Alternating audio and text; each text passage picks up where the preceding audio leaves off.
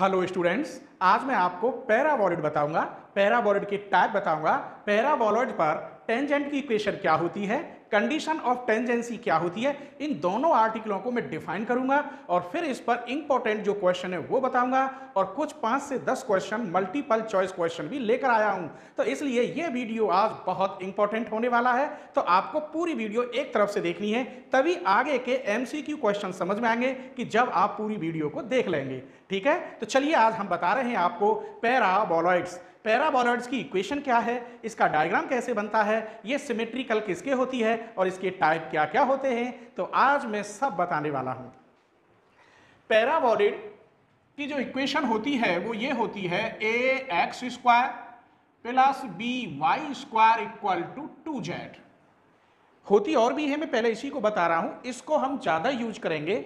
इस इक्वेशन में एक्स और वाई की पावर इवन है। इसलिए जो कर्व बनेगी, वो सिमेट्रिकल अबाउट जेड एक्सिस के होगी। इसको हम ऐसे भी लिख सकते हैं। A x square plus b z square equal to two y या a y square plus b z square equal to two x तो ये तीनों टाइप हैं, इनको हम कैसे भी लिख सकते हैं, लेकिन ज़्यादातर हम इसको यूज़ करते हैं। तो चलिए इसे न लिखकर इसको ही लेके चल रहे हैं। कि ये पैराबोलिड की इक्वेशन होती है। किसकी होती है? पैराबोलिड की। और मैं इसे लिख रहा हूँ यहाँ पर a x square plus b y square equal to two z आइए इसकी पैराबोलिड का डायग्राम कैसा होता? है सेम पैराबोला जैसा ही होता है। ये एक्स एक्सिस वाई एक्सिस और जेड एक्सिस एक्स और वाई की पावर इवन है तो कर्व किधर से बनेगी? जेड एक्सिस से। और सेंटर से होकर जाएगी, क्योंकि एक्स वाई जेड की जगह पर ज़ीरो रखूँ तो किससे पास होगी? ओरिजिन से। अगर आपको डायग्राम बहुत अच्छी तरह देखना है तो मेरी प्लेलिस्ट देखिए कर्व ट्रेसिंग उसमें मैंने एक एक पॉइंट अच्छी तरह से दिखाया है, ठीक है? तो इसकी ऐसी फिगर बनेगी, इस प्रकार। इसको मैं थोड़ा ड्रॉ कर देता हूँ।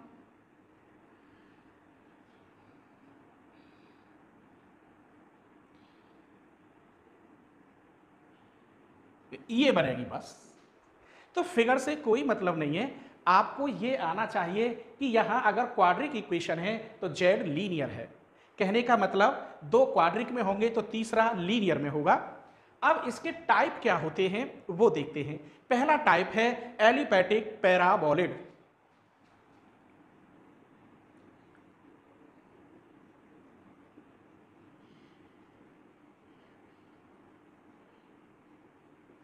इसमें क्या होगा? इफ़ यदि a equal one upon a square b equal one upon b square और दोनों पॉजिटिव हो, अर्थात दोनों सेम साइन हो तो ये इक्वेशन बनती है x square upon a square plus y square upon b square equal to two z दूसरी इक्वेशन एक टाइप हो गया इसका। सेकेंड टाइप हाइपरबोलिक होता है।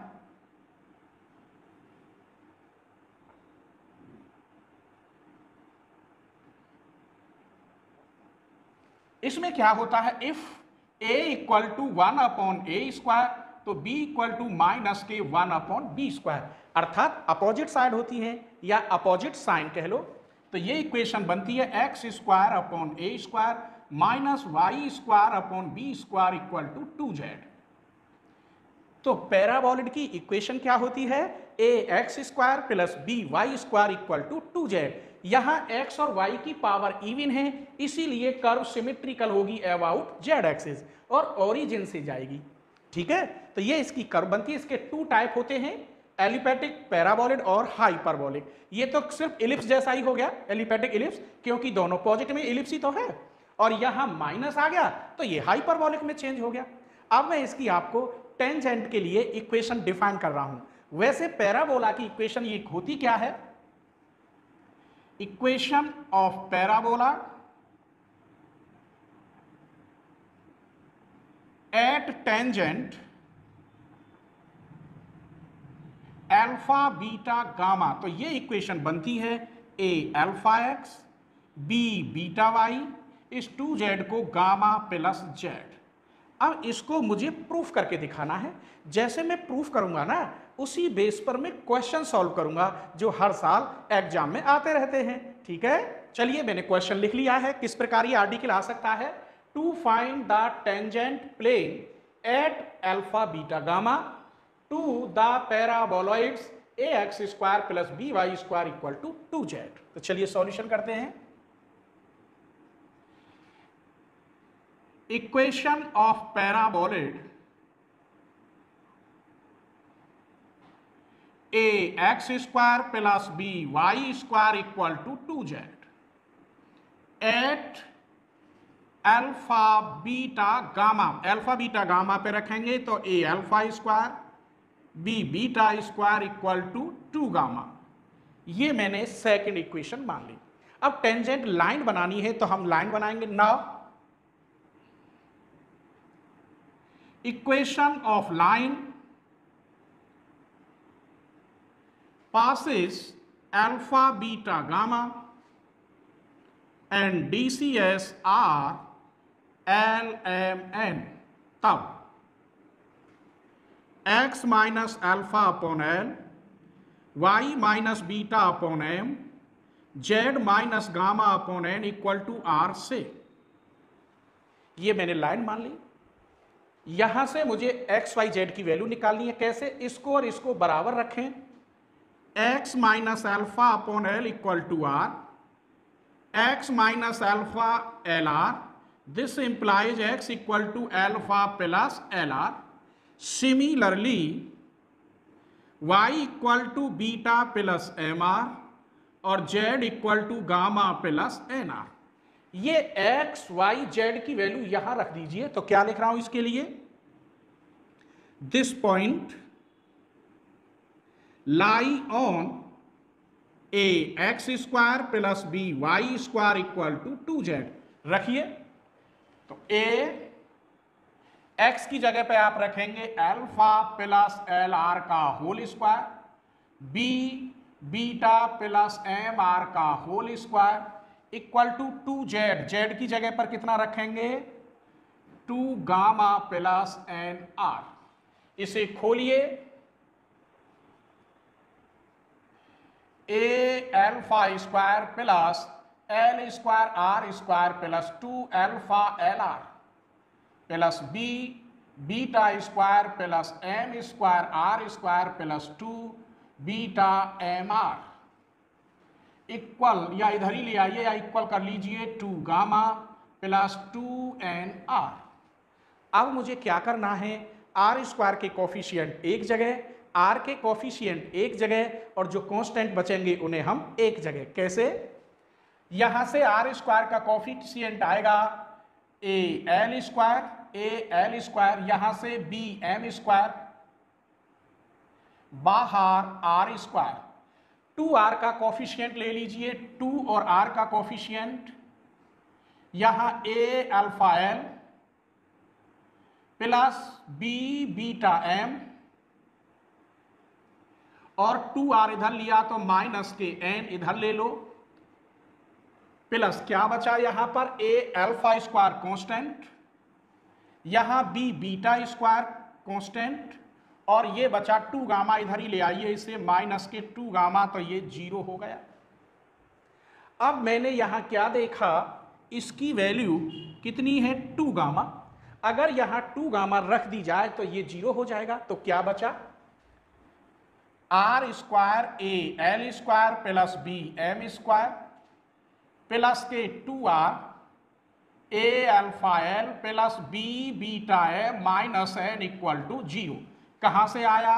बाईस सेकेंड। अब इसका एक रूट ज़ीरो आएगा विच इज़ क्वाड्रिक इक्वेशन में लिख रहा हूँ। Which is quadric in r and one root is zero कैसे आएगा? अगर इसमें से मैं आर कॉमन ले लू तो आर बराबर क्या हो जाएगा? ज़ीरो हो जाएगा। So that the coefficient of two r is zero तो टू आर का coefficient a alpha l b beta m minus n equal to zero. अभी तो मुझे और हल करना है। यहाँ एल की वैल्यू, एम की और एन की वैल्यू में कैसे निकालूं? या इसको और इसको बराबर रखते हैं तो x minus alpha upon r, l गया इधर। आर आ जाएगा इधर और एल पहुँच जाएगा इधर। तो एल की वैल्यू ये हो गई। तो यहाँ a alpha x minus alpha upon r b beta m के लिए लिखूँगा y minus beta upon r n के लिए z minus gamma upon r equal to zero r किसमें चला गया? ज़ीरो में। तो यहाँ बचा a alpha x minus alpha b beta y minus beta equal to z minus के गामा ये इधर जेड माइनस के गामा प्लस में जाएगा क्योंकि माइनस है तो इधर गया प्लस में। अब मुझे ये अलग अलग सॉल्व करना है। इसमें मल्टीप्लाई करिए केवल a alpha x b beta y फिर क्या बचा? माइनस के ए अल्फ़ा स्क्वायर माइनस के b beta square equal to z plus z minus gamma आइए इसे अब आगे सॉल्व करते हैं। बस थोड़ा सा यहाँ मिटा देता हूँ। तो a alpha x plus b, beta y, minus इधर ले जाइए तो a alpha square plus b, beta square, plus के जेड माइनस गामा। इसकी जगह पे आप क्या रख सकते हैं यहाँ से? Two gamma. क्लियर? तो a alpha x, b, beta y equal to two gamma plus z minus gamma. तो a alpha x b beta y equal to gamma plus z ये इसकी टेंजेंट की इक्वेशन मैंने डिफाइन की है। Proof करने को कभी कभी आ जाती है बीएससी में।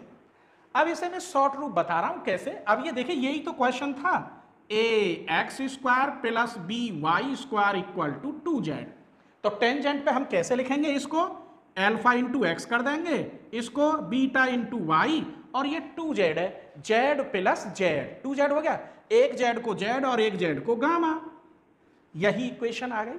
अब मैं एक नई बात बताऊँ, ऐसा क्वेश्चन होता three x square plus four y square equal to seven z तो टेंजेंट की इक्वेशन आप कैसे बनाएँगे? लेकिन यहाँ तो सेवन जेड है, मुझे बनाना है टू जेड तो कैसे कर सकता हूँ? Three x square plus four y square seven upon two into two z two की डिवाइड, टू की मल्टीप्लाई। अब इसे ऐसे कैसे तोड़ोगे?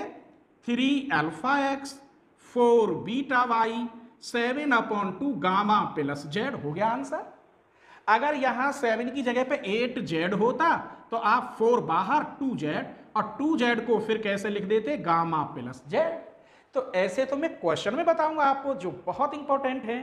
अब हम लेके चलते हैं कंडीशन ऑफ़ टेंजेंसी, ठीक है? इस आर्टिकल को देखिए, ये इंपॉर्टेंट आर्टिकल है।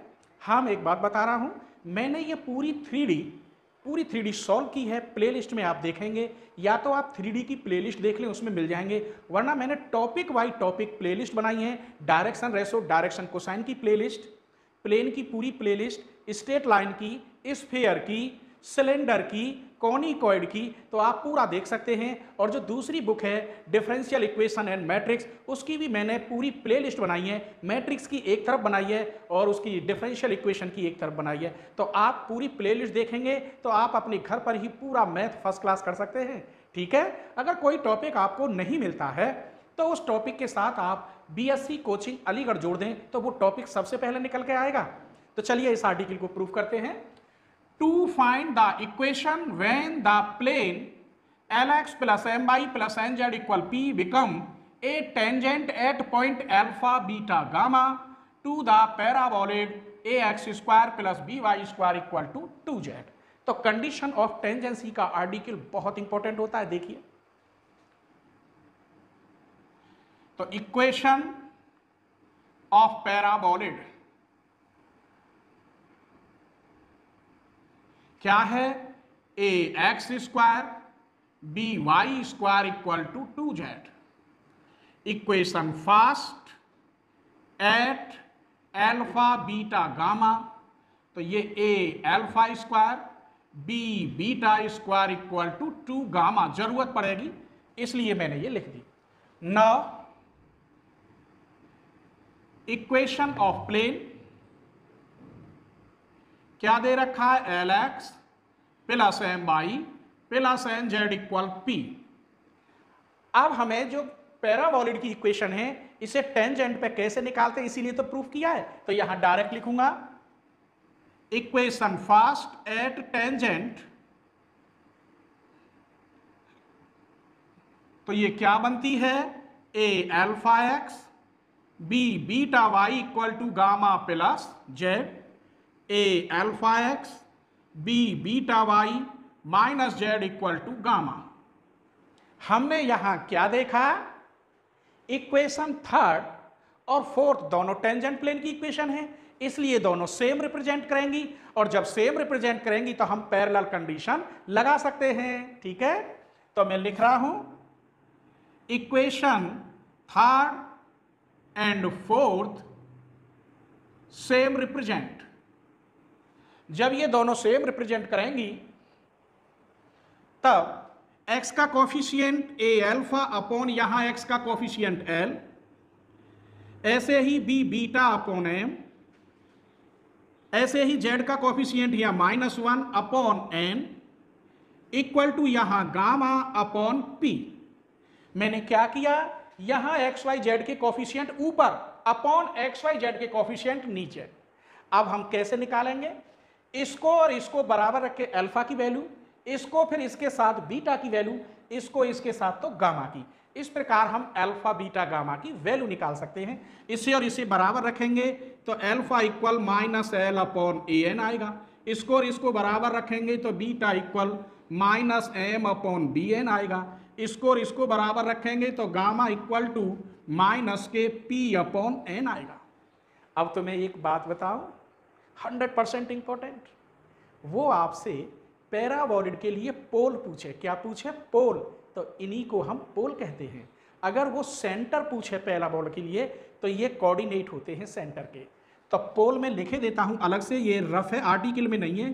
तो minus l upon a n, minus m upon b n, minus p upon n. इस पैराबॉलिड के लिए ये पोल कहलाते हैं। तो ये अलग आर्टिकल में नहीं है, मैंने आपको समझा दिया है। अब ये जो पॉइंट हैं, ये लाई करेंगे इक्वेशन सेकंड को। ठीक है? कंडीशन ऑफ़ टेंजेंसी बनानी है ना?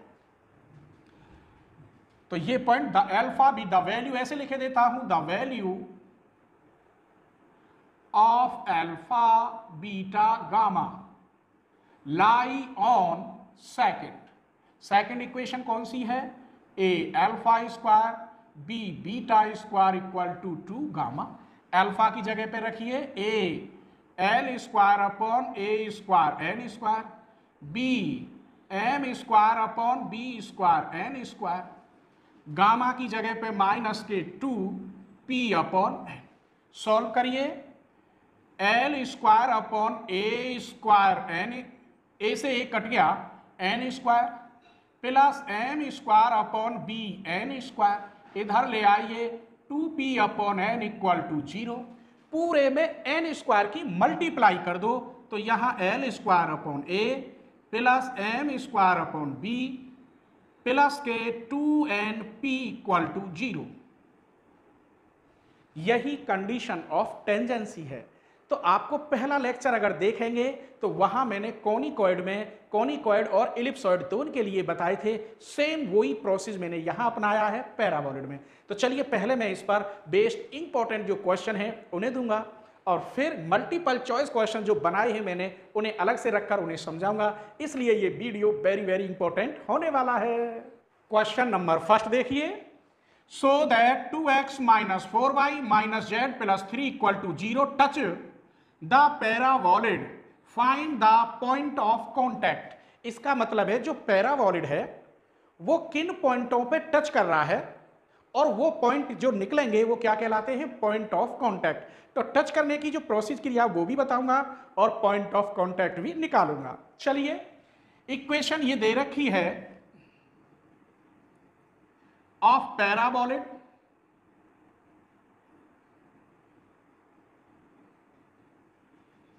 x square minus two y square equal to three z पहले इसे सेट करते हैं।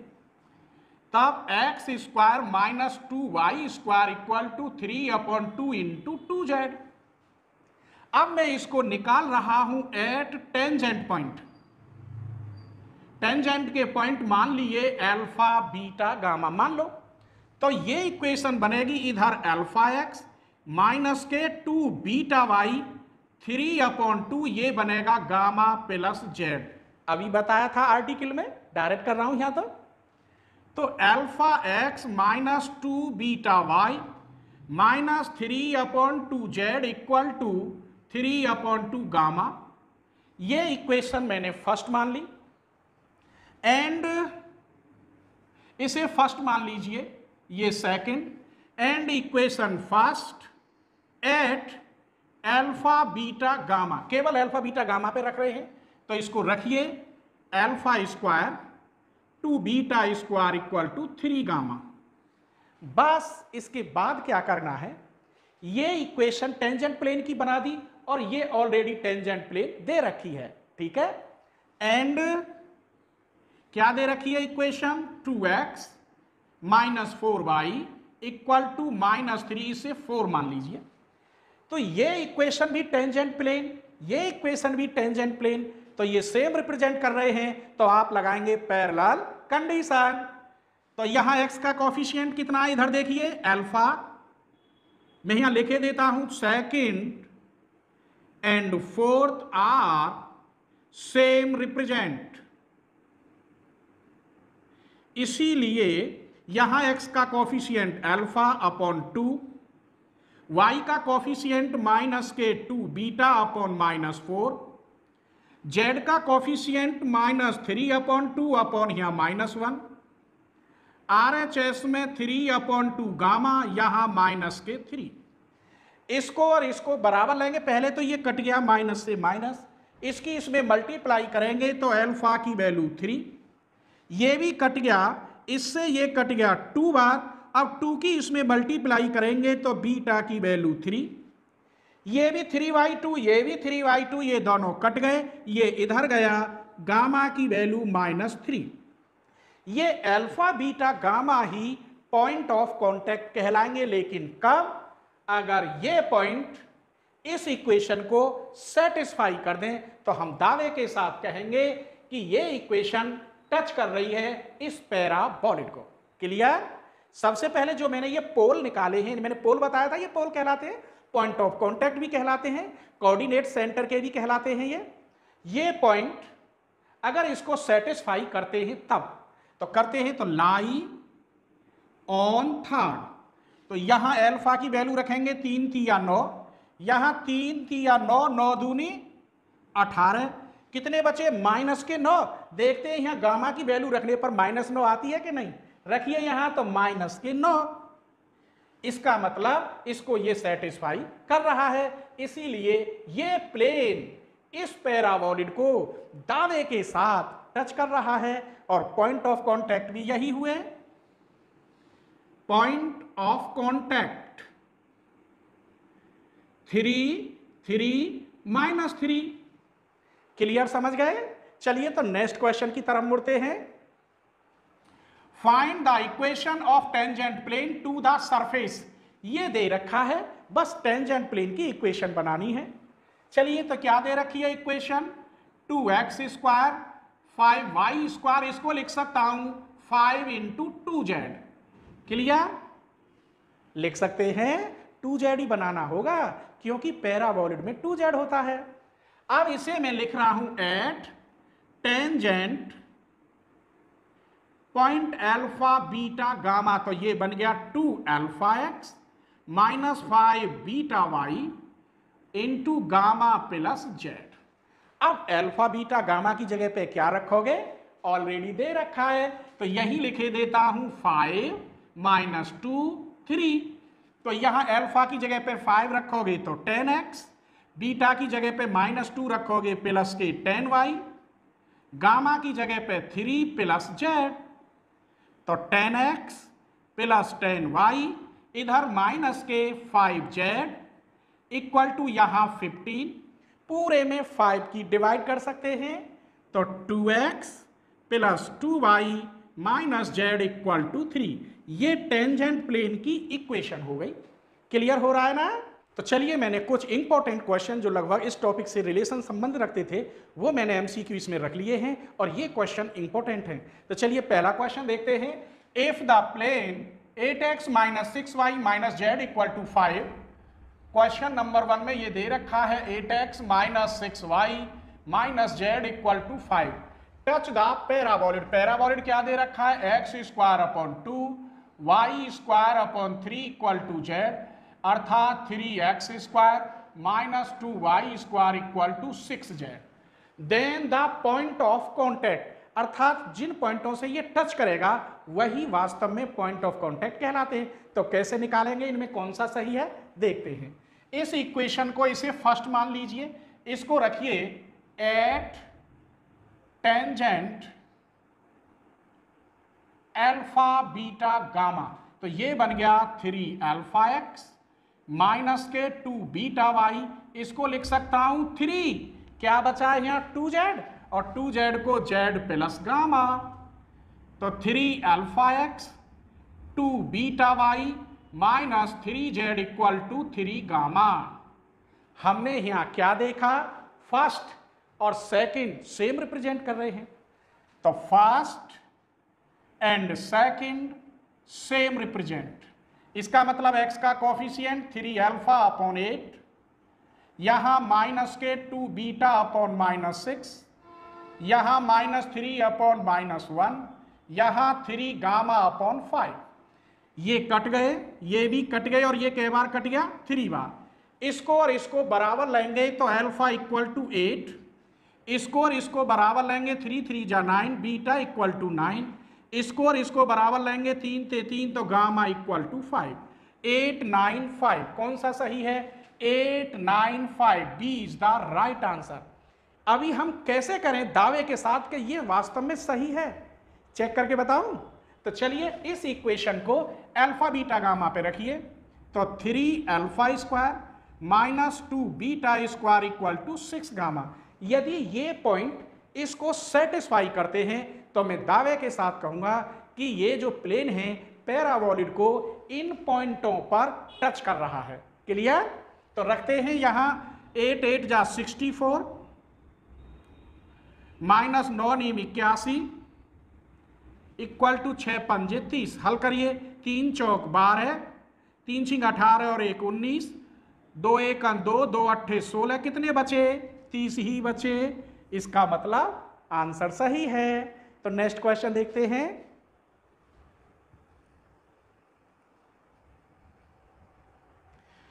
क्वेश्चन नंबर टू देखिए। The condition that the plane l x plus m y plus n z equal p may be tangent to the paraboloid ये तो मैंने अभी proof कराया था आर्टिकल क्या होता है? L square upon a plus m square upon b plus two n p equal to zero this is the right answer अभी प्रूफ कराया है। Equation of tangent plane to the surface. इन पॉइंटों पर इनमें से कौन सी टेंजेंट प्लेन की इक्वेशन होगी, वो देखते हैं। चलिए पहले इस इक्वेशन को लिखते हैं। ये तीसरा क्वेश्चन है। Two x square minus five y square equal to ten z at five minus two three. इसे मैं ऐसे भी लिख सकता हूँ। Minus five y square equal to five into two z. ये बन गया two alpha x. Five beta y. Five gamma plus z काय पर निकाल दिया? एल्फा बीटा, गामा पर। तो two alpha x, five beta y, z को इधर ले आओ चाहे वही रहने दो। चलो डायरेक्ट वैल्यू रखो अब। एल्फा की जगह पे पाँच रखेंगे तो दस एक्स, बीटा की जगह पे यहाँ माइनस दो रखेंगे प्लस के दस वाई, फाइव गामा की जगह पर थ्री प्लस जेड। पाँच की डिवाइड कर दो तो two x plus two y equal to three plus z. देख लीजिए कौन सा आंसर सही है? C is the right answer एक और है फोर्थ क्वेश्चन। ये दो प्लेन दे रखे हैं। Are the conjugate diametral plane. इसी टॉपिक में है। मैं नेक्स्ट वीडियो में बताऊँगा इस आर्टिकल को। प्लेन्स ऑफ़ द पैरावॉलिड दे रखा है। तो l l dash upon a plus m m dash upon b equal to क्या होगा? ज़ीरो वन टू सी या कोई सा भी नहीं तो मैं प्रूफ कराऊँगा, इसका आंसर ज़ीरो आता है। क्लियर